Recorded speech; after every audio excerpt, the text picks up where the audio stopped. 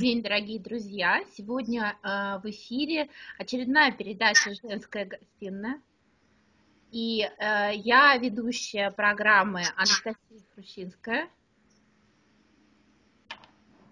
И у меня сегодня в гостях замечательная, потрясающая женщина, девушка, очень красивая, удивительная, э, Виталина Скворцова-Охридская. Виталина прежде всего жена и мама – двух сыночков, но она нам сейчас все расскажет и про деток, и про свою семью, я думаю, потому что у нас очень сегодня интересная тема. Мы поговорим о том, как научиться слушать себя и строить свою жизнь, опираясь на внутренние ценности и желания – и еще пару слов я хотела бы сказать о Вите. Вит, Вита не, просто жена и мама, потому что, конечно, это замечательная самая, но она очень реализованная женщина, поскольку у нас программа, она для женщин и о женщинах, и о женщинах успешных. И Вита, она консультирующий психотерапевт, преподаватель в Международной школе психотерапии, и ведет группы консультирования, а, ведет группу «Гармония», и она автор блога, очень интересного, потрясающего. Далина пишет, я всем советую посетить ее а, блог, посмотреть ее статьи на, на веб-сайте guvita.ru. А, мы постили ссылку на нашей, в нашей группе в, и ВКонтакте, и в Фейсбуке, поэтому вы можете ее посмотреть. Алло, Вита, ты меня слышишь? Да, Настя, я очень рада сегодня быть здесь. И когда мы начинали, я чувствовала волнение, а сейчас я чувствую такую некоторую неловкость и смущение. Ты столько хороших слов сказала в мой адрес, и, э, не знаю, столько комплиментов, что вот я сейчас э, смущаюсь несколько. Совершенно не смущайся, потому что это все правда, и мы всегда, всегда скромничаем, когда про нас говорим. Я абсолютно, я просто зачитала то, что у тебя на веб-сайте написано. Вот, так что сама даже ничего не придумала. Вот, еще раз здравствуй, спасибо тебе огромное, что ты присоединилась к нам, и мне хотелось бы, прежде всего, ну, может быть, ты несколько слов сама о себе расскажешь, да, потому что а, я знаю, что ты по первому образованию вообще ни разу не психотерапевт, терапевт, и как ты к этому пришла, ну, какие-то, какую-то свои несколько вещей, ладно? Да, ну, если говорить про мою какую-то историю, то э, то, что есть сейчас, э, сейчас я действительно жена, сейчас я действительно мама двух замечательных мальчиков, Прохора и Серафима, одному из которых будет два, второму четыре.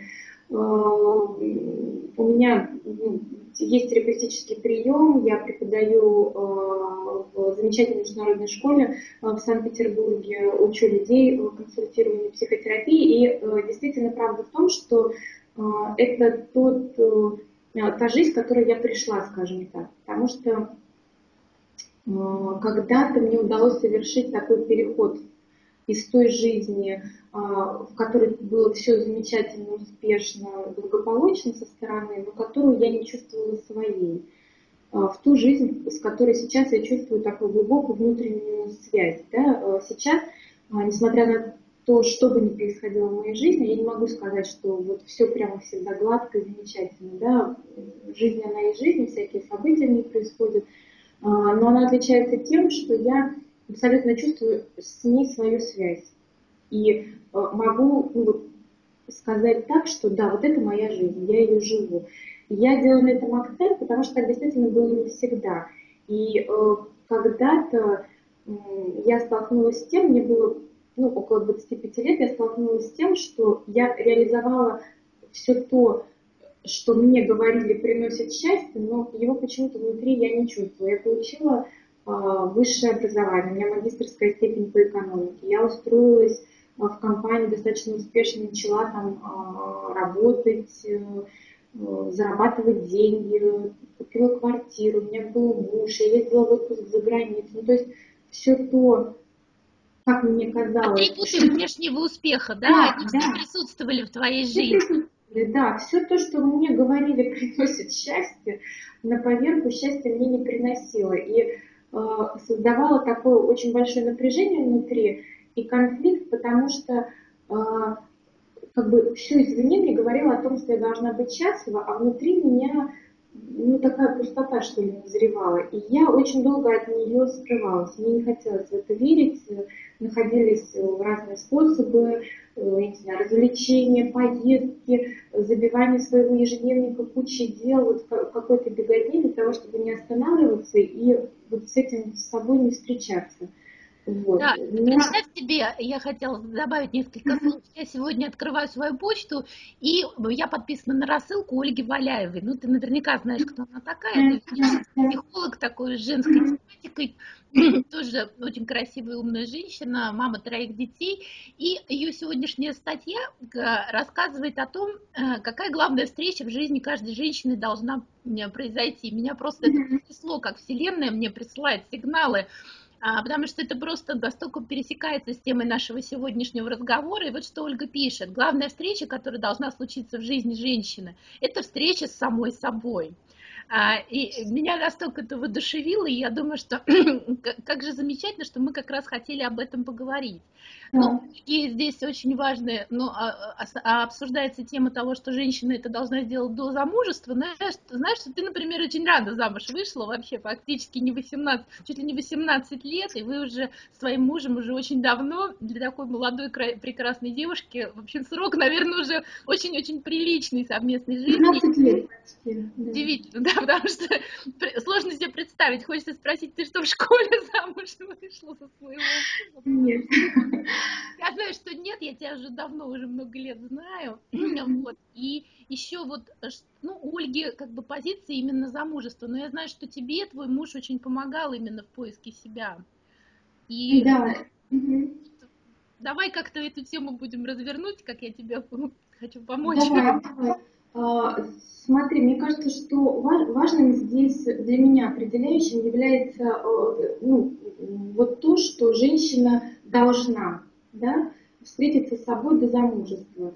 И э, здесь мы сталкиваемся с тем, что она уже кому-то что-то должна. Да, и та женщина, которая это читает, будучи в браке, да, например, э, она может подумать, что, в общем-то, ей уже э, поздняк метаться, говорится. Меня, кстати, это тоже напрягло, потому что я, я считаю, что мне мой муж тоже очень сильно помог, и это человек, который, в общем-то, раскрыл мне себя. Э, я ему безумно благодарна, и я не думаю, что да, действительно, что, что кто-то кому-то должен. Но это всегда очень сложный вопрос, именно путь самой себе, потому что очень многие люди, они не находят этого пути, и они какие-то подводя итоги своей жизни, оказываются у черты того, что они не были счастливы и не реализовались должным образом. И это очень-очень важно, на мой взгляд. Мне кажется, а, две вещи. Первое, про, про вот эти вот должны, да, это э, такая штука, которая как раз э, способствует тому, чтобы мы шли не к себе, а от себя, да, потому что если я ориентируюсь на то, что я должен кому-то, кто-то вот сказал, да, что я должен, тогда у меня как будто бы меньше возможности прислушиваться, а как это для меня, да, потому что ты прислушиваешься к себе и думаешь, слушайте, а мне муж вообще помог здорово, да, и наши с ним отношения позволили мне как-то и себя по-другому увидеть, да, его глазами, делать какие-то шаги, это была поддержка для меня и так далее. И твой опыт говорит о другом, да, мой опыт говорит о чем-то. И опыт каждой из нас говорит о чем-то разном. И мне кажется, когда мы э, ну, что-то читаем, с чем-то встречаемся, очень важно задавать себе эти вопросы и не стыдиться того, что мы услышим. Понимаешь, э, потому что очень много звучит э, «научитесь слушать себя». Да? Да, вот это меня очень всегда удивляет. А что это значит? Ну вот такие, ну что это значит? Это значит, что я читаю статью, например, и э, в ней мне попадается, что я должна была найти себя до встречи со своим мужем. А мне 18 вообще было. Я была в глубочайшем кризисе, когда мы встретились. И э, более того, эти отношения, они э, способствуют, ну как-то, я не знаю, мы росли вместе, это продолжается. Да? И э, если я ну, читаю что-то такое, я думаю, что у меня уже изначально все пошло не так, я могу так подумать. Со мной что-то не в порядке, и, и мне надо что-то срочно с этим сделать. Хотя на самом деле это не так. Я совершенно согласна. И вот мне даже было интересно узнать твое мнение. А, вообще, как бы вот вот этот постулат, потому что Ольги Валяевой как раз он очень часто звучит, что мы, женщина должна выйти замуж, а должна ли женщина обязательно выйти замуж? И вообще, ну, насколько этот атрибут необходим, хотя я абсолютно не поддерживаю там феминистическую позицию. Я, я понимаю тебя, Настя. Да, и что, как, что ты по этому поводу думаешь? Ты знаешь, э, я по этому поводу думаю следующее, что вот, э, например, я не знаю, должна ли каждая женщина выходить замуж или нет, да, мне действительно это неизвестно, я не знаю всех женщин лично, я не знаю как, а, например, Ольга Валяева знает, что все женщины должны выходить замуж, и это отличает меня от Ольги. А, мне кажется, что каждая женщина должна, вот что она действительно должна, прежде всего самой себе, это не побояться задать себе этот вопрос и не побояться услышать правду на него. Потому что э, моя психотерапевтическая практика показывает э, о том, что э, некоторые женщины приходят с тем, что вот у меня нет отношений, я хочу замуж, я хочу замуж. А последующая работа, обращение к себе показывает, что я не хочу замуж. Просто мне всю жизнь твердили, что это сделать меня счастливой, это нужно. Если я этого не сделаю, я бракованная, я какая-то не такая. Но если я повернусь к себе, если я признаюсь себе, если я приму себя в этом, что я, ну вот, ну вот как-то так, вот мне не хочется туда, да, то может быть что-то изменится. Может быть, как только я допущу эту правду внутри себя, может быть, сразу же что-то изменится. Может быть, во мне появится место для чего-то. Понимаешь? Поэтому я не могу ответить э, ну, вот ты, Настя, должна быть замужем или нет? Вот, должна, да. Ну, я не знаю. Я, я, тебя, я совершенно с тобой согласна и разделяю тоже эту позицию. И особенно для меня это очень важно понимать, потому что у меня две дочери, и э, я всегда стремилась Э, в воспитании своих дочерей э, придерживаться принципа не навредить, самое главное, потому что вложить в голову какие-то ментальные конструкции, которые на самом деле являются моими пожеланиями, моими стремлениями, а не их собственными. И я, например, очень большой прессинг испытывала от своей мамы, которая мне говорила, что вот, ты им там как-то что-то так слишком много свободы даешь, или ты слишком их настраиваешь на какие-то такие постулаты, которые не являются истинными, вот, ну и для меня э, это был очень сложный период, у меня взрослые уже девочки, одной 21, 19 лет, и поэтому для меня очень важно именно, чтобы они нашли себя, я все время стараюсь э, помочь им именно в поиске себя, а не в том, чтобы как я реализовалась. Конечно, у меня есть видение определенное. Ожидание определенное, что уж там. Я стараюсь всегда избавляться от, от ожиданий, потому что мне да. очень помогает. Вот. Но, тем не менее, мне вот очень понравилась а, цитата на твоем веб-сайте. Мне не интересно, чем ты зарабатываешь на жизнь, я хочу знать, к чему ты страстно стремишься, и осмелишься ли встретить желание своего сердца. Да, да. Я, мне кажется, это вот то, к чему мы как раз, то, чего мы должны делать. Вот, и поэтому... ты знаешь, вот это слово, вот это слово смелость, мужество, устойчивость, это на самом деле все то, а, что необходимо, если ты хочешь там, слышать себя, быть собой, э, следовать за собой. Потому что, следуя за собой, да, следуя за тем, что ты слышишь, ты опираешься на что-то только внутри себя, что-то невидимое, порой рациональное, э, только твое. И это рождает, безусловно, страх, тревогу, я не знаю, беспокойство какое-то. И есть такое большое желание от этой тревоги избавиться, от этого страха избавиться, да, сидеть там и, и не дергаться, а лучше сделать так, как кто-то сказал, Ольга Валяева, например, да, но если ты хочешь жить свою жизнь и быть по-настоящему взрослым, э, я имею в виду взрослым не внешне, а взрослым внутренне, то нужно обладать определенной устойчивостью к этой тревоге, к этому страху, осмелишься ли ты, да? нет никаких гарантий. Да, я думаю, что ты встречала достаточное количество людей в своей практике, которые там в, по возрасту 35-40 лет, а они внутри совершенно не взрослые. Я э, на своем собственном примере могу сказать, что я себя взрослой, реально взрослой ощутила лет в 36, а, если не позже. Вот я, я вдруг осознала, что да, вот я теперь стала взрослой, а до этого я еще не была достаточно взрослым человеком. Да, да. Вот, и поэтому, конечно, а, Расскажи о своем пути понимания себя. Вот в 25 лет ты себя осознала, что ты несчастлива. Что же дальше произошло? А, дальше я просто дотянула до такой степени, что интенсивность вот этого несовпадения, того, что я чувствую внутри, того, что во мне меня, она меня как-то так сподвигла делать резкие движения какие-то. Да? Я уволилась с работы, я там ушла из офиса, отовсюду, ничего не слышала, все, вот я хочу там заниматься тем, чем хочу, я встретилась с кризисом большим, потому что мне казалось, что а, меня сдерживают какие-то внешние барьеры. Вот мне хочется писать, но я не пишу, потому что я работаю в офисе, потому что я то, потому что я все. Когда я уволилась и нигде, ну как-то, я освободила себе время, оказалось, что свободы больше не стало. А, уже впоследствии выяснилось, что вот эти вот все барьеры, они живут внутри меня. Знаешь, что а, нельзя писать, или ты плохо это делаешь, или у тебя не получится. Это все, что звучит внутри меня на самом деле да, как ты говоришь, там, ментальные установки или еще что-то. Вот. И э, когда я ушла, э, было очень мало опор, я еще не умела опираться на себя, и я искала какие-то внешние опоры. И вот хорошо легла э, такая история про э, ну, какие-то вот такие знания, тогда, они сейчас достаточно популярны, да, про ведическое, ведическая женщина, вот что тебе принесет счастье, карьера, Э, там какая-то реализация, деньги, стремления, это все не приносит женщине счастья, сказали ведические мудрецы. Женщине приносит счастье, если она замужем, рожает детей, носит длинную. И, в общем, другой список требований мне предоставили. И в этом был какой-то ресурс определенный, потому что я обнаружила в себе другую часть, мягкой, женственной, да, и какое-то время на этой волне действительно что-то стало происходить в отношениях, просто потому что я позволила этому появиться, скажем так. Да? А, но потом случилась точно такая же история.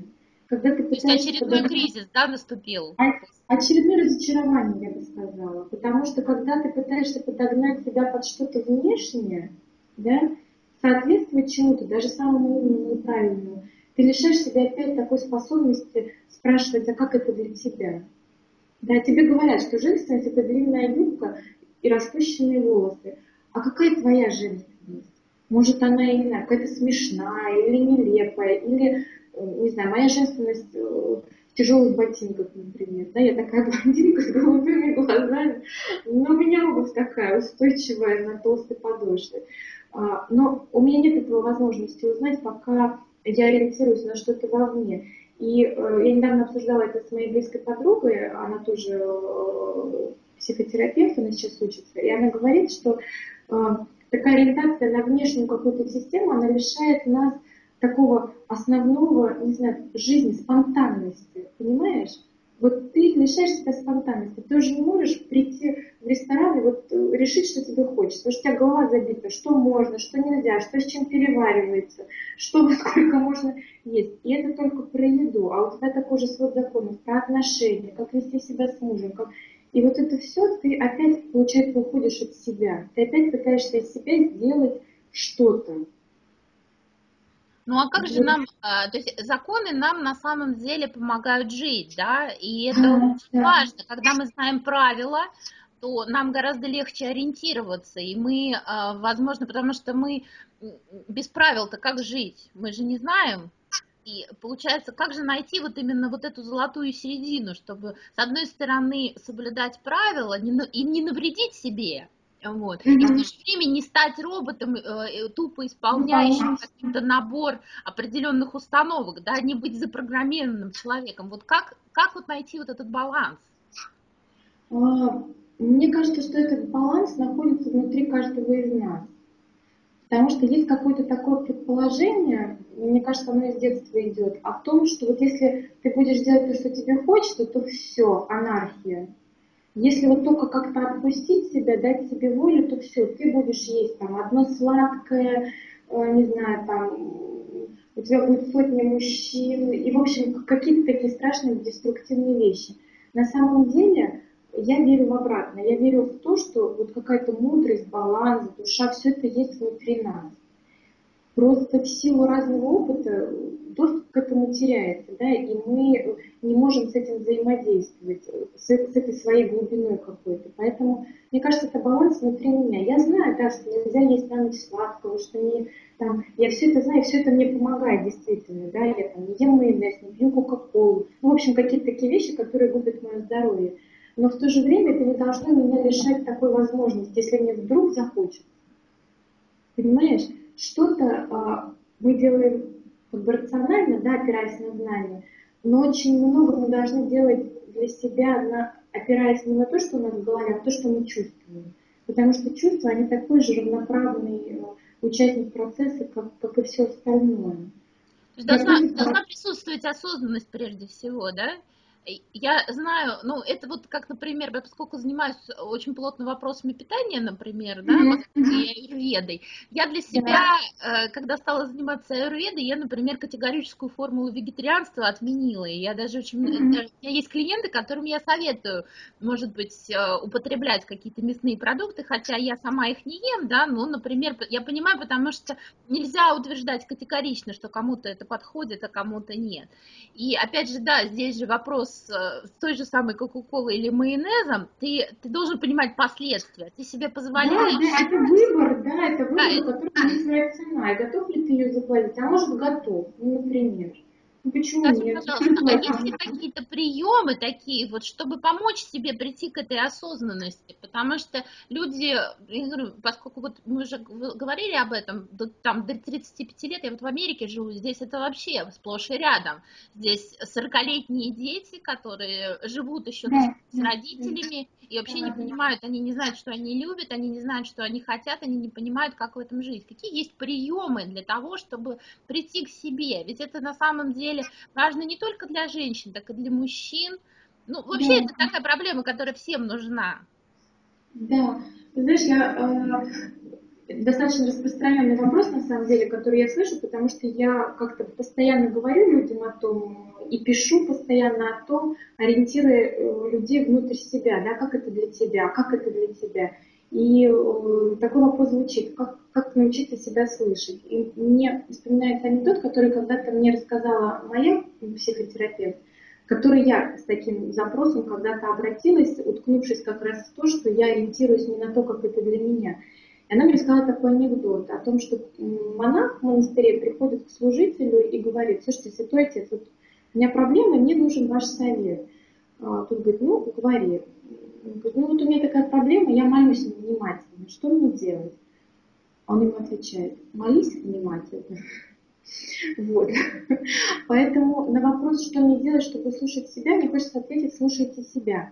Но, а, ты понимаешь, э, это такая история многосоставная, потому что первый, первый вопрос – это а, чтобы мне научиться слушать себя, да?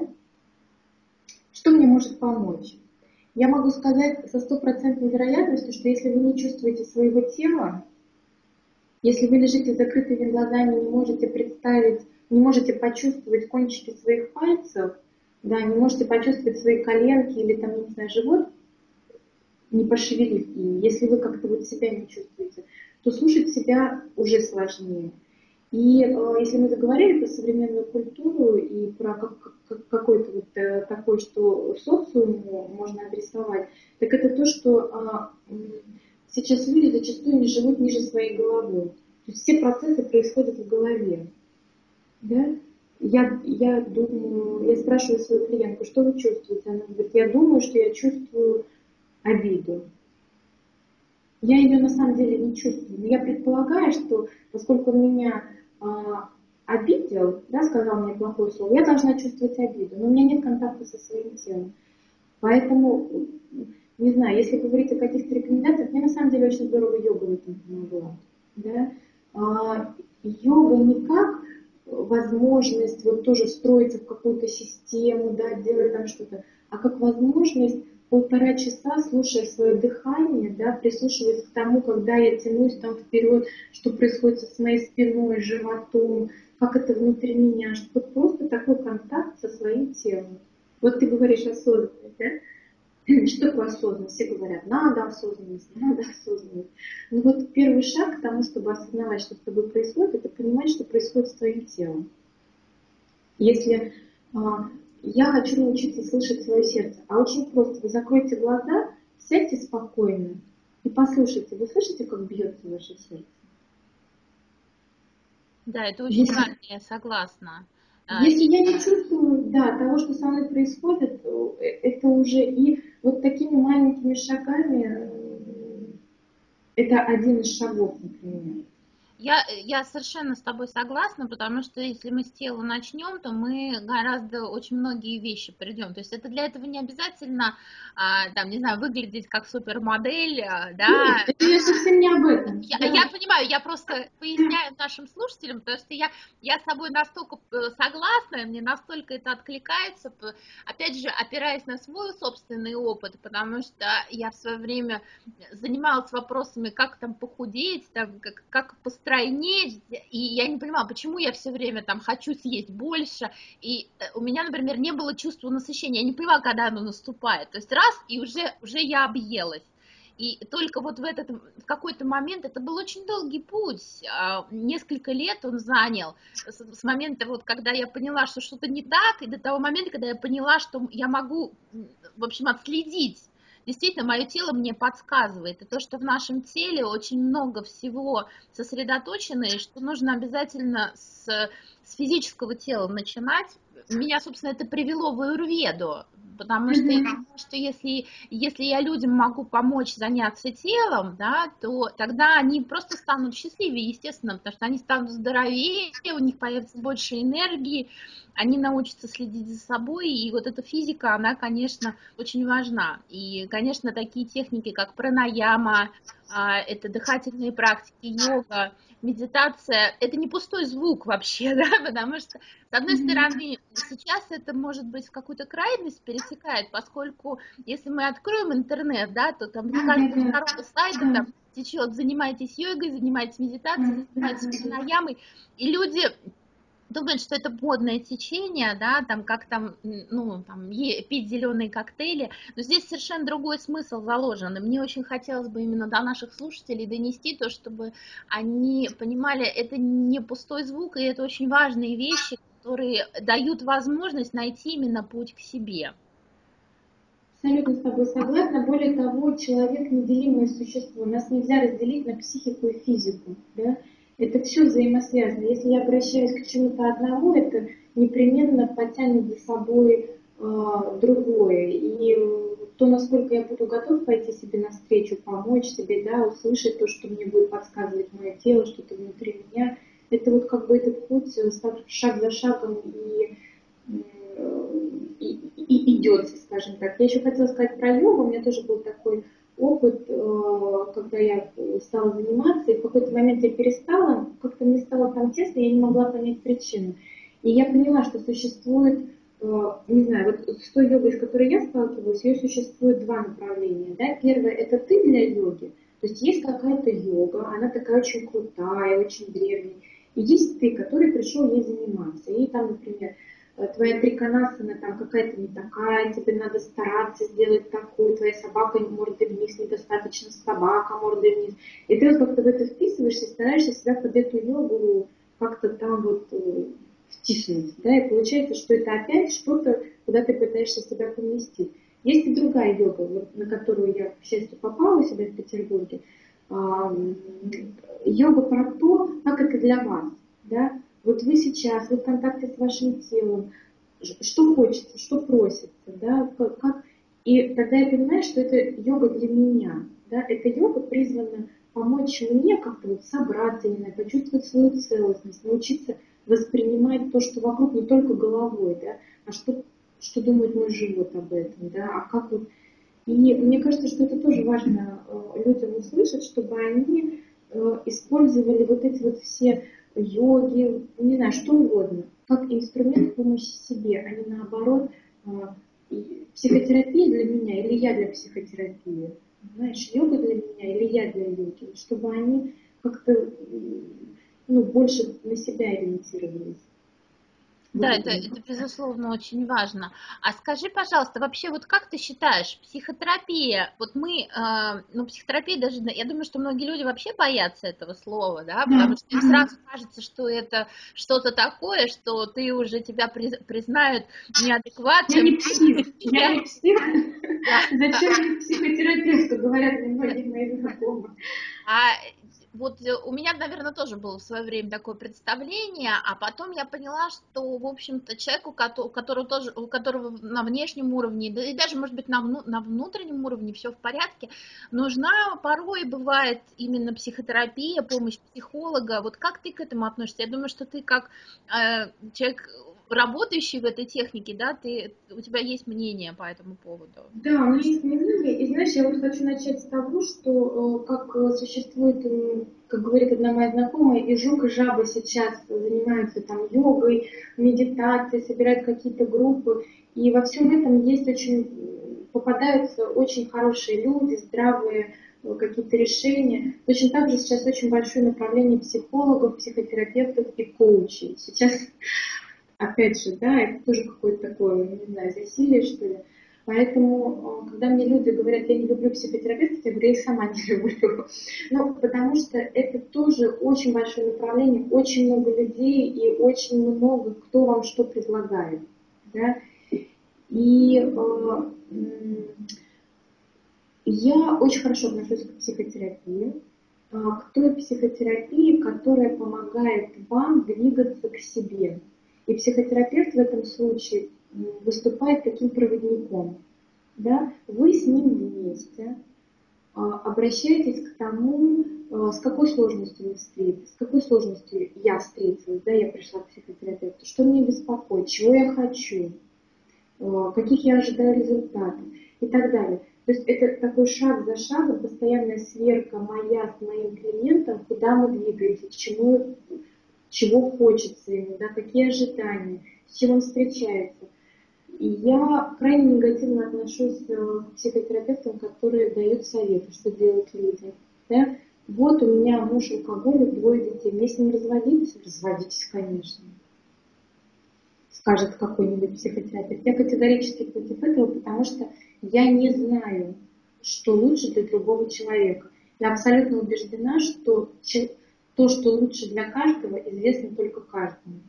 Просто иногда это правда, я повторюсь, она скрыта где-то внутри, какие-то травмы, а, какие-то штампы, какие-то установки не дают человеку с этой правдой встретиться. И моя задача помочь ему встретиться с собой, со своей собственной правдой. И в этом смысле, чтобы прийти ко мне на прием, вообще не надо быть психом а лучше этого не дожидаться. Да, вот именно я хотела как раз сказать, что очень важно не запустить проблемы, потому что потом да. тебе будет сложнее, и человеку, который тебе помогает, и, в общем-то, э, женщины вообще не склонны э, использовать бытовую психотерапию, потому что даже вот наш разговор там с подругой, да, ты при, mm-hmm. начинаешь бывает, может быть, по сути, не всегда верным, да, но тем не менее, это, это же тоже тип психотерапии. Ты согласна с этим? Я бы не, нет, я с этим э, тоже категорически не нет? согласна. Нет, потому что, смотри, э, то, что разговор с подругой приносит облегчение и пользу, я абсолютно согласна, да, потому что э, отношения это то, что нас исцеляет. Отношения, любые отношения, не любые, нет, поддерживающие здоровые отношения с подругой, близкими, далекими, в интернете, где угодно. Это то, что нам может помочь. Но психотерапия это другое, потому что это особые отношения. Это особые отношения, это такие отношения, в которых другой человек настроен на то, чтобы, ну, знаешь, как говорят про безусловную любовь и безусловное принятие.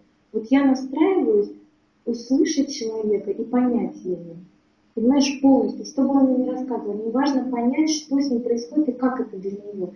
Даже если он мне рассказывает, как он ну, бьет своего ребенка. Понимаешь, это такой этический парадокс. Мне в этот момент, я очень плохо отношусь к детям, которые бьют своих детей в своей жизни, да, там, где я мама, жена. Но если ко мне приходит такой человек, моя задача максимально ну, как-то помочь ему, понять, что с ним происходит, с чем он встречается, и как я могу ему помочь, если он ко мне обращается.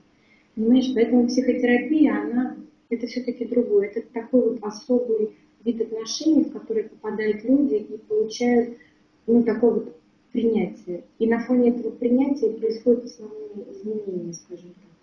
То есть э, очень важно именно а, от, а, свой личностный, да, свои личностные отношения отключить в этот момент. И именно вот это и есть а, ц, лечебные да, свойства психотерапии. То есть ты свои личные отношения не транслируешь на своего пациента. Если, это, если я вижу, что это ему может быть полезно, или если он меня спрашивает, Старина, как вы вообще относитесь к людям, которые бьют своих детей, я ему скажу, вы знаете, я ну, как-то не к людям, а к таким поступкам очень плохо отношусь.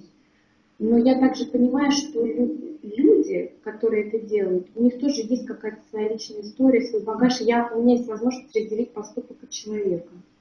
Да? Я не могу отключиться. Почему я не могу консультировать друзей, близких, родственников? Потому что там я не могу отключиться. Там я очень эмоционально ну, привязана. Да? У меня уже есть отношения есть э, к чему. А здесь мне в какой-то степени надо уметь не зависеть от своего отношения, а, а попытаться пойти дальше. Оно никуда не денется. Но если я, мне удастся, удерживая его, пойти дальше, то тогда я смогу быть полезным человеку. Да, я понимаю, о чем ты. Скажи, пожалуйста, вот у меня еще один вопрос в процессе нашей беседы созрел.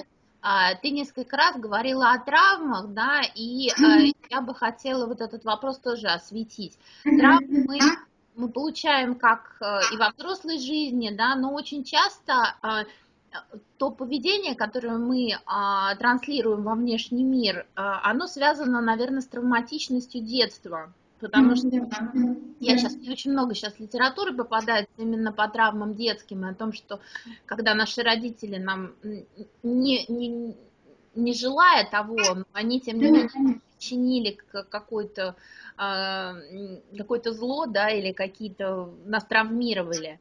А как вот с этим быть? Потому что очень многие люди, они не осознают. Я вчера, вот, например, с подругой встречалась, и она мне как раз рассказывала историю а, про нашу общую знакомую, которая недовольна своим ребенком, но в итоге мы в обсуждении поняли, что она на самом деле недовольна-то собой, а не, не ребенком. Но тем самым она носит травму своего ребенка, и ребенка потом определенная а, концепция поведения. Вот что с этим делать? Потому что мы все все равно так или иначе живем с этими а, детскими травмами. Да, да. И мы все живем с этими ранами, и ну тоже вот э, я сегодня капитан очевидности, мне хочется сказать, лечите раны.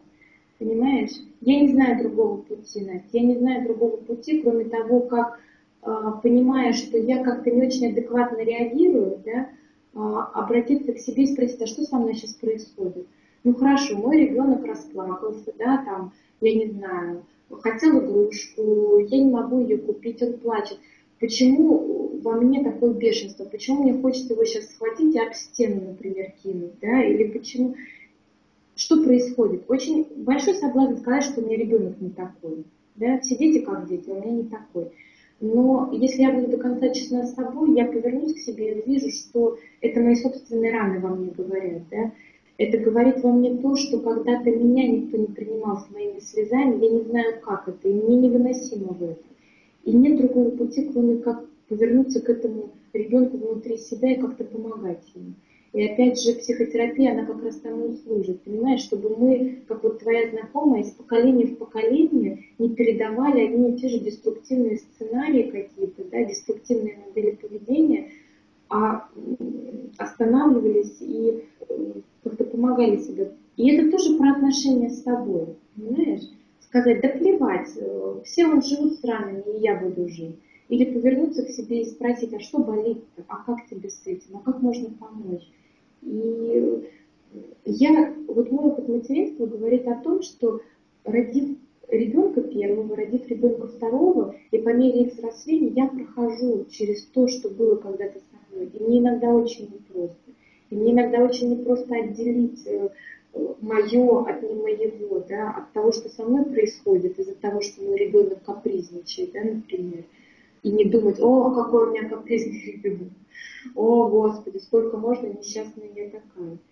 И на самом деле, я не знаю, как какие-то другие женщины, я когда родила ребенка, я ходила на групповую терапию, на личную терапию, на телесную терапию, на йогу, на вот куда угодно. Мне очень хотелось как-то помочь себе и своему материнству для того, чтобы ну, как-то радоваться и э, не переносить. А помогать себе, не запихивать еще глубже в себя, а как-то проживать это. Ну, вот такой опыт у меня был.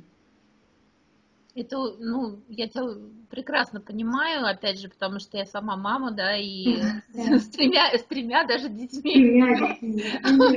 Тоже разный, разный опыт, и дети все разные. Э, вообще удивительно, что к тебе приходят такие разные существа, которые вроде бы тех же родителей, а они совершенно... Я тут читала тоже статью, замечательный опыт там мамы с четырьмя детьми, которая говорит о том, что они вообще все и четыре разные, совершенно друг с другом не похожи, и темперамент разный. А, и вот у нас уже потихонечку время наше истекает, mm-hmm. и мне хотелось бы от тебя услышать какие-то универсальные наверное, советы, я вообще не знаю, применимо ли в данном случае слово универсальные, хотя, хотя, может быть, это действительно да, может звучать как универсальные. Что же нам делать? Вот с чего, с чего начать, как нам быть, потому что, чтобы каждый человек смог найти путь к себе.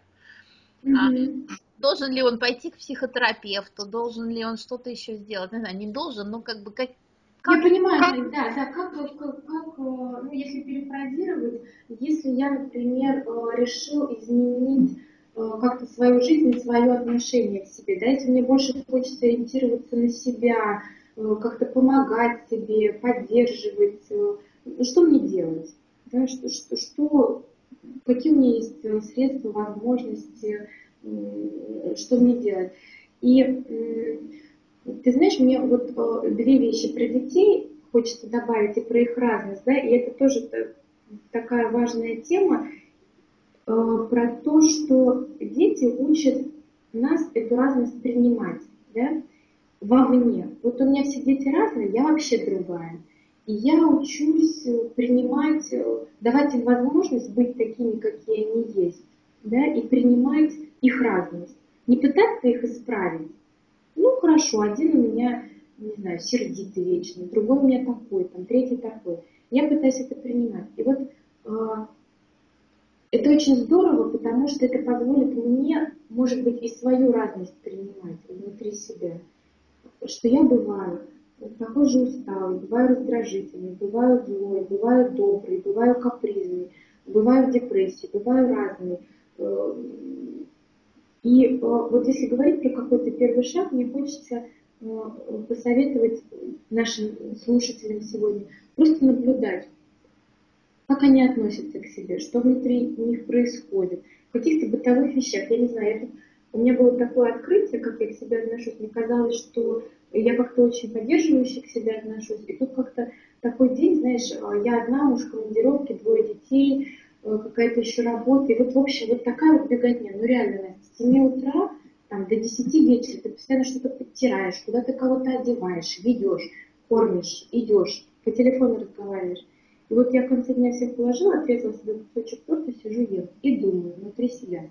Сладкое и жирное на ночь. Вообще-то это вредно. Лучше бы сейчас зеленый коктейль выпить. И, а потом думаю, стоп, а что я делаю? А зачем я это говорю сама себе? Почему я могу сказать себе, Виталий, слушай, ты вот реально сегодня пахала как лошадь целый день? Ну, хочется тебе этот торт, ну, скушай, пожалуйста, ради бога, ну, выпей ты чай, успокойся, ну, зеленый коктейль, ну, завтра сделаешь, ну, перестань, ну, все хорошо, понимаешь? И совсем по-другому ты съедаешь этот кусок торта. И совсем по-другому э, ты Вообще все совсем по-другому, просто от того, что звучит внутри себя. И мне хочется сказать всем, что, ребят, слушайте то, что внутри вас звучит, и подумайте, то, что звучит, это те отношения, которых вам бы хотелось, внутри, вне, или есть что-то, что вам хотелось поменять. Если поменять, ну, найдите для этого какую-то возможность, я не знаю. Найдите психотерапевта, которому вы могли бы доверять, да? А, Найдите специалиста по питанию или по аюрведе, если вам кажется, что ваш путь через тело, например, и вы пока не готовы ни с кем делиться тем, что у вас внутри происходит. А, сделайте для себя что-то, что вы любите, что нерационально. Ну, пойдите на танки, например. А что это даст, а я не знаю. Но если вам этого действительно хочется, ну сделайте такой шаг себе. И вот шаг за шагом, шаг за шагом. К сожалению, у меня нет ни волшебной таблетки, ни волшебных лучей, ни какого-то совета. Я не знаю, что лучше для всех. Но вот мне хочется каждого к себе повернуть, и вот чтобы после нашего эфира каждый посмотрел на себя в зеркало и сказал, ну привет, ну как ты? Вообще, где ты сейчас? Да, в каком ты месте? Что с тобой происходит? И как-то вот каждый сам себе же на эти вопросы и ответит. Да, я тебя тоже понимаю очень хорошо, потому что, опять же, та же самая Эрведа помогла мне э, осознать, что нет универсального совета. Невозможно сказать, что делайте то-то и то-то, и вы, вам будет хорошо, потому что ну, есть какие-то, конечно, общие, очень-очень общие вещи, да, но, к сожалению, всегда нужен индивидуальный подход, это очень важно. И э, ты знаешь, вот еще один вопрос у меня возник. Вот, может быть, да. ты уже как сейчас, как мама уже такая с опытом, ты, может быть, мне подскажешь. А как научить детей быть осознанными? Потому что вот эти все наши травмы, эти проблемы, невозможность встретиться с себя, нас же никто не научил, да, и мы не знаем. А как помочь тем маленьким существам, которые рядом с нами, ну и кому-то, у кого-то маленьким, кому-то уже не очень, чтобы Absolutely. они знали, как им тоже встречаться с собой, чтобы их э, жизнь, ну, может быть, им чем-то облегчить, э, так сказать, какие советы можно дать именно родителям в помощь, чтобы они научили этому детей? Я очень люблю э, мамам. Это на самом деле такой запрос, да, который тоже часто звучит. И мамы приходят на психотерапию женщины с вопросом, что ладно, уже Бог там со мной, да, уже ладно, все, проехали, 35, жизнь кончена, смирились. Но как быть моим ребенком? Как мне ему-то помочь жить своей жизнью? И я всегда говорю одну и ту же метафору э, о том, когда мы летим в самолете, говорят, что в случае разгерметизации наденьте сначала кислородную маску на себя, а потом на ребенка. Что если вы оденете на ребенка, вы себя не спасете, и он тоже погибнет. И в этом случае мне тоже хочется сказать, что для того, чтобы помочь ребенку быть осознанным, помогите себе. Если ваш ребенок будет видеть, что вы живете, что вы живете, делаете какие-то ошибки, обсуждаете с ним, да, я могу сказать, могу накричать на ребенка, а потом сказать, слушай, ну извини, я просто разозлилась, потому что мы пришли с прогулки, я была голодная, то-то, то-то, то-то. Но для того, чтобы мне это сказать, мне надо понимать, что со мной происходит. Не что он гадкий мальчишка, а что я голодная, злая, устала вообще, и поэтому я накричала. И гормоны. Да, и это дает ему возможность подойти ко мне и сказать, мам, слушай, ну я психанула, знаешь почему? Она вот мы там шли, вот и вот, и это уже рождает какой-то диалог. И э, если ребенок видит, что родитель таскается не на какую-то там нелюбимую работу просто потому, что у него нет выхода, в каких-то отношениях деструктивных находится, потому что ему страшно. Если он видит, что родитель выбирает свою жизнь, работает там, где хочет, строит отношения, не боится, рискует, идет, помогает, в общем, как-то живет своей полной жизнью, это прекрасная помощь ему делать то же самое. Здесь нет другого пути. Я не могу а, не замечать себя, не могу поставить на себе крест и сделать так, чтобы мой ребенок слушал себя. Невозможно. Он будет э, так или иначе воспроизводить программу, что я не важен для мира, со мной это уже все ясно, пусть кто-то другой живет. Поэтому, опять же, подходим к зеркалу, смотрим себе в глаза и спрашиваем, как ты вообще? Да, это очень-очень важно. Это очень хорошо, что ты заметила. Действительно, ты знаешь, я задала вопрос, потом думаю, действительно, начни с себя. Но не, не всегда так просто, да, иногда мы что-то... Это вообще не просто, Настя, это вообще не просто. Вообще никаких розовых пони, никакое счастье, никакое, это все не так, это работа на самом деле. Но она, она а дает. Как победить лень? Вот ты не думала, вот мы иногда понимаем, что все не так, но у нас нет сил, вот ресурс-то найти. А надо искать, надо искать. Вот если э, опять же, ресурс у каждого свой, да, если я себе говорю, слушай, вот мне бы очень хотелось изменений, но э, у меня нет сил, да, а каких изменений бы тебе хотелось? Мне бы хотелось от мужа уйти, ну а еще что, а еще, и все можно, понимаешь, как съесть слона, ты знаешь, по кусочку. Кусочку, да? Ты не сможешь слона съесть. И у меня часто такое бывает, боже, как это сделать? Я сама внутри себя выгляжу такой маленькой мышью, которая мечется и думает, как я это все, я, мне это все не... А потом я думаю, ну окей, ладно, давай с хвоста начнем, по чуть-чуть. И также и про лень, и про ресурсы. Если ты начнешь действительно как-то слушать себя, то эта энергия, она начнет внутри себя, тебя высвобождаться. Как только ты перестанешь через голову все прокручивать, а какие-то шаги прямо к себе начнешь делать, ну, мой опыт показывает, что все равно какие-то появляются импульсы, которые тебе помогают. Вот ты говоришь, Вселенная разговаривает, как угодно это можно назвать. Но какая-то помощь отыскивается, если ты об этой помощи просишь я как человек, э, занимающийся астрологией, я верю в знаки Вселенной, для меня это всегда работает, понимаешь? А даже Ольга Валяева, которая у меня тоже неоднозначные отношения, ну, прежде всего, конечно, огромное уважение, потому что я считаю, что она огромную работу ведет, и она очень многим действительно людям помогает.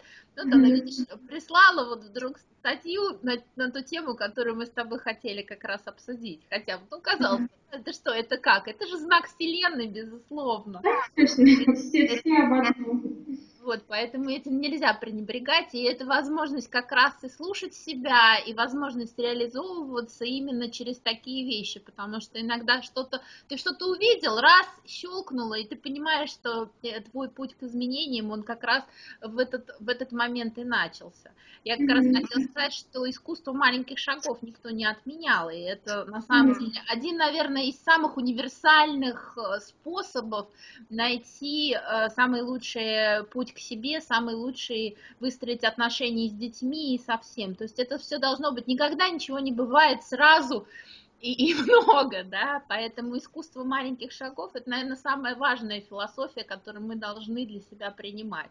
Сделай хотя бы, ну, то есть продвинься на сантиметр, вот, и потому что там через год этот сантиметр, он превратится уже в три с половиной метра. Mm-hmm. Вот. Тут очень важно именно как раз э, не забывать об этом, что искусство маленьких шагов, оно во всем приносит большой успех. Вот. Mm-hmm. И, ну, не знаю, может быть, ты еще что-то хочешь пожелать нашим слушателям, какие-то?